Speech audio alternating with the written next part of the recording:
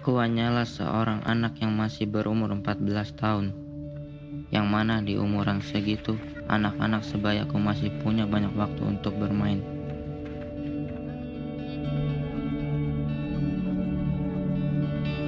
Namaku Bejo.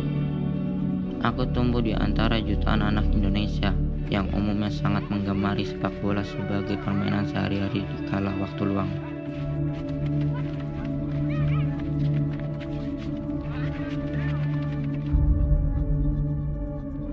Bermain bola, rasanya kita ingin menjadi pemain idola kita. Ada yang ingin seperti Messi, Ronaldo, Ibrahimovic,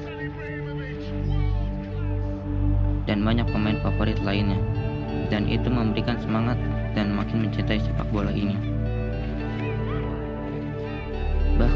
Sampai-sampai pikiran kita ke bola juga ke bawah saat kita sedang belajar, saat membantu urusan keluarga, sampai mau tidur sekalipun. Ya, pokoknya sepak bola sudah mengisi hari-hari saya.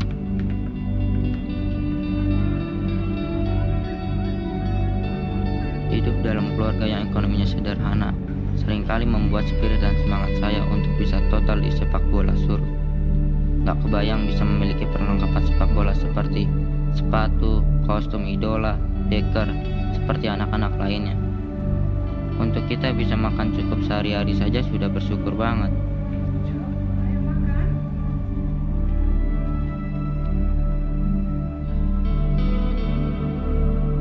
Tapi saya yakin, apabila kita punya kemauan keras dan semangat tinggi, doa dan usaha kita akan dikabulkan dan diberikan jalan untuk mewujudkan cita-cita kita.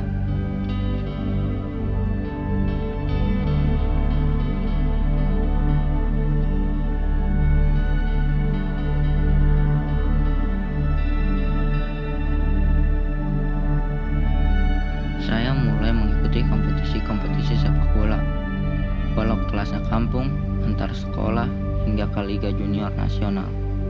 Dan semua itu menjadikan saya memiliki kesempatan untuk meningkatkan diri. Hingga akhirnya di event kejuaraan dunia U15, Alhamdulillah saya terpilih dalam seleksinya. Gak terkira rasa bangga saya ada di kejuaraan dunia ini.